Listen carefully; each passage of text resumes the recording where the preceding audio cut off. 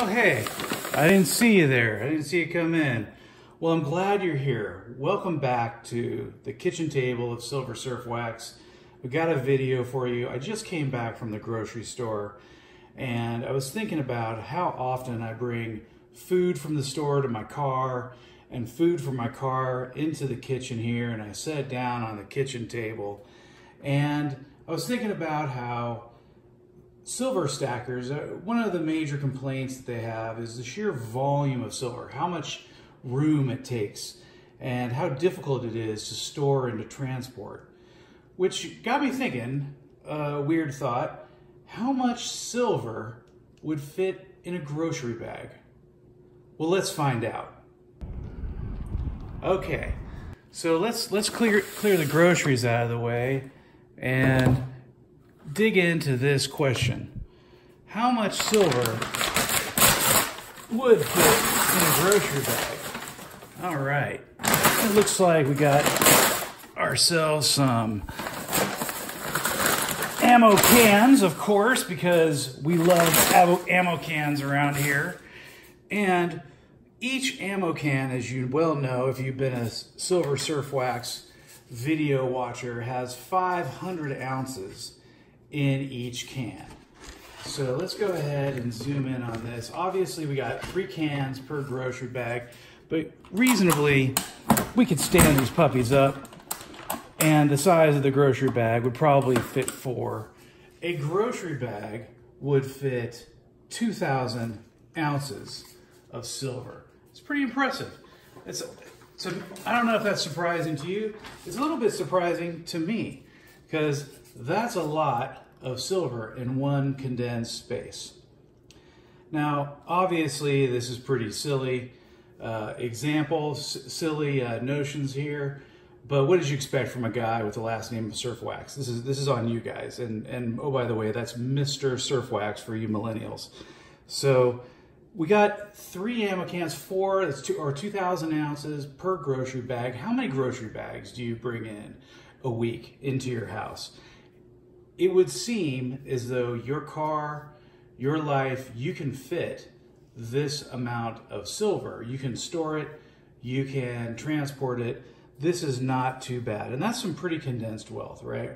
Thinking about just a, a thousand ounces, two cans here, right? At a thousand ounces to at, as of today, uh, what uh, spot price is 1840. So $18,400 for for uh, two ammo cans, and that's pretty much how much I can carry at a time, right? With these puppies weighing about 40 pounds each, um, that's 80 pounds. I can carry two cans at a time, but that's $18,400 that you can carry to the car in one trip. That's not too bad. Now, does it compare to gold? Hardly, right? For a thousand, uh, for, for about $18,000, you're talking about just a little bit of gold. Here's, here's 10 coins, right? So we need to add two more coins to that to, let's, let's, let's add one more coin here, one more coin there. So if you're talking, if you're talking the same amount for two cans, you're talking this much gold. And that's not, that's not very much. That's a tiny, tiny amount. So for sure, gold is going to store your wealth much more compactly than silver. But silver isn't too bad.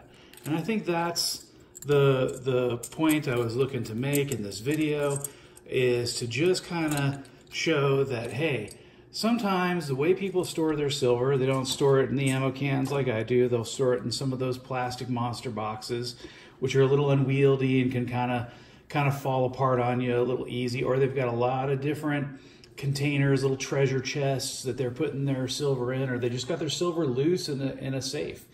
And that's going to make it a little more difficult for them to to manipulate and to move around and to be able to transport or to keep keep organized.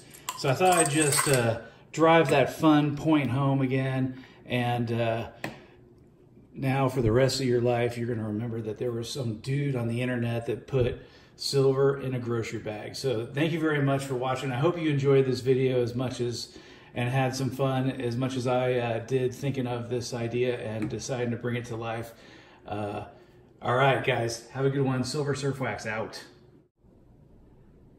So this is kind of hilarious. The, this didn't work at all. I had set up the uh, the video with a false bottom on these uh, on these grocery bags, so they would just come apart, and I should have pulled right off. But of course, no. Silver weighs way too much for these things to. They got pinched and they never came came loose. So I thought I had a great plan here where my uh, my bags would come off super easy with a tiny little bit of uh, effort. And no, I had to tear I had to tear right through them. that's that's hilarious. Oh hey, so for for those of you who are wondering if I actually have silver in here, let's uh, let's show you at least.